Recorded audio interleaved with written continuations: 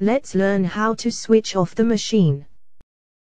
First, press emergency stop push button from the operator panel.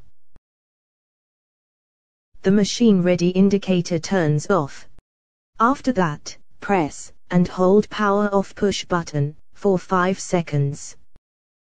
The display on screen disappears. Then, turn power selector switch in counterclockwise direction, to turn off CNC lathe.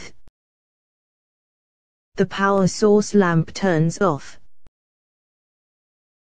Now, switch off the voltage stabilizer.